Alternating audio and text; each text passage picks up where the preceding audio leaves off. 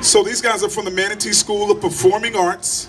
Y'all give it up without further delay for the Lightning Sticks. Clap your hands, come on.